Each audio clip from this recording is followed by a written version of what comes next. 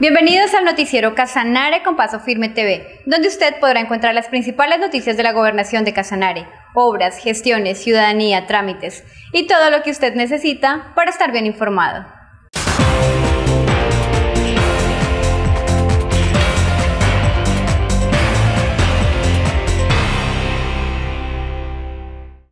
Jornada única, matriculatón y canasta educativa para el 2017 son algunos de los temas que se concertan desde la Administración Departamental con cada uno de los municipios.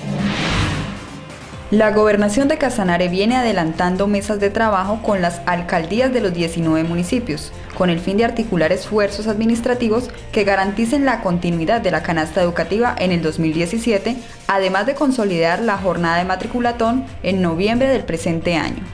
Estamos haciendo una bolsa común, eh, trabajando de común acuerdo para que eh, qué responsabilidad vamos a tener el otro año desde la gobernación y qué responsabilidad directa tienen los, los señores alcaldes de, los, de cada uno de los municipios. Ellos también nos ayuden con esta matriculatón que vamos a hacer hacia el mes de noviembre para recuperar esos más de 1.500 niños que hemos perdido. Haya una actividad fundamental con toda la comunidad en la responsabilidad directa que tenemos para no tener un solo niño por fuera de las aulas educativas.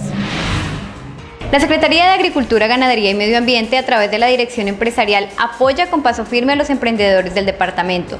En este sentido, el secretario Camilo Montagut acompañó a un grupo de científicos casanareños en la Feria Bionovo 2016, realizada en la ciudad de Bogotá. Bueno, la gobernación de Casanare no solamente viene apoyando el sector primario en la parte técnica, sino también estamos apoyando en el sector de innovación. Es por eso que a través de la Secretaría de Agricultura, Ganadería y Medio Ambiente hemos trazado una ruta para apoyar empresas que estén trazando proyectos de innovación tecnológica para la transformación del sector productivo. Obviamente, que es la cadena de La Palma. C-Star, esta empresa, viene realizando un proyecto de innovación muy importante en el departamento que es eh, desarrollando una feromona para el control del eh, cucarrón que produce una enfermedad en la palma que es una enfermedad muy, muy endémica, muy peligrosa, que es el anillo rojo. El producto innovación llamado Rincón Ferona para combatir la emergencia fitosanitaria a causa de la infestación del anillo rojo, enfermedad que ataca los cultivos de palma por medio del Rincón Porus palmarum, insecto conocido como el picudo negro, fue expuesto en la feria. Esto uh, surgió de una investigación que empezamos a realizar para el sector palmero de Casanare, porque una declaratoria de, emergencia fitosanitaria a causa de la infestación del anillo rojo, una enfermedad que es incurable en las palmas. Y la manera de prevenirla es atrapando al picudo negro, este insecto que eh, transmite la enfermedad y por eso debe ser capturado en las plantaciones antes de que infecte las palmas. Para ello entonces desarrollamos nuestro producto que es la feromona Rincoferona. Es un producto que sintetizamos en Casanare donde eh, este producto viene a solucionar un problema sentido de los palmicultores de la región y con ello dar respuesta para poder prevenir y controlar esta enfermedad en las plantaciones palmeras de Casanare. Se concluyó la etapa de encuestas del Plan Integral de Seguridad y Convivencia Ciudadana, en donde los casanareños expusieron las problemáticas de violencia, crimen e inseguridad que los afecta. El equipo consultor del Plan Integral de Seguridad y Convivencia realizó una muestra de unas encuestas de percepción de seguridad. Lo que buscamos nosotros con, nosotros con esas encuestas es conocer la opinión de las personas frente al tema de seguridad, conocer su percepción, si se sienten seguros, si no se sienten seguros, qué factores hacen que se sientan seguros, qué medidas toman los, los ciudadanos casanareños y finalmente lo que buscamos con la, con la encuesta es conocer la confianza que tienen nuestros ciudadanos con las instituciones. Bueno, realmente depende del Comité de Orden Público eh, cuando se defina la digamos, la aprobación del plan. En ese momento seguimos en construcción, ya se está desarrollando las estrategias, ya se socializó el diagnóstico, se les entregó oficialmente a las entidades que, que conforman el Comité de Orden Público el diagnóstico, de qué se trata, cuáles son los delitos. Eh, todavía está por hacer algunos ajustes para poder definir esas estrategias de la manera más rápida y una vez esas estrategias se definan, poder sí a planificar los recursos y hacer las otras dos etapas que, en un corto periodo de tiempo esperamos poderlo terminar.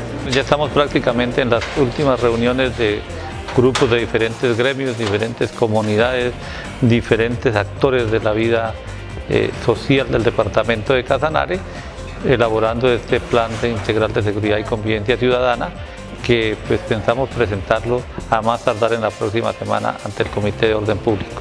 Y esto nos va indicando cómo debemos orientar este plan y los recursos que alimentan ese fondo provenientes del impuesto a todos los contratos de obra pública del departamento. Hasta el 22 de octubre, Animals Colors estará en Casanare. Rocío, usted nos tiene todos los detalles. Adelante. Gracias Tatiana. Sí, nos encontramos desde Gran Plaza Alcaraván en una exposición muy especial de nuestros niños, niñas y jóvenes que están en la modalidad de artes plásticas en la Dirección de Cultura y Turismo Departamental. Me encuentro con la maestra Tatiana. Ella nos va a contar cómo ha sido el proceso con estos niños, niñas y jóvenes. El proceso ha sido muy interesante ya que comenzamos eh, desde mayo. Hemos tenido un proceso de, del dibujo básico, figuras geométricas. ¿De qué se trata la exposición que pueden encontrar aquí en el Gran Plaza del Caraván? La exposición trata acerca del animal favorito del estudiante. Es un proceso de teoría del color que se viene trabajando ya hace unos meses con los estudiantes. Em, como ustedes pueden ver, pues es un proceso muy rico visualmente en cuanto al color y pues en cuanto a la geometría, geometrización de estos, de estos animales. Y pues nada. Bueno, eh, se hace la invitación para que más niños se acerquen y pues eh, de pronto exploren lo que son las artes plásticas. Sí, claro, les hago la invitación a todos los niños de la ciudad de Yopal y a los niños de Casanare a que se acerquen a la Dirección de Cultura y Turismo, a los cursos de artes plásticas. Eh, invitadísimos. Muchas gracias.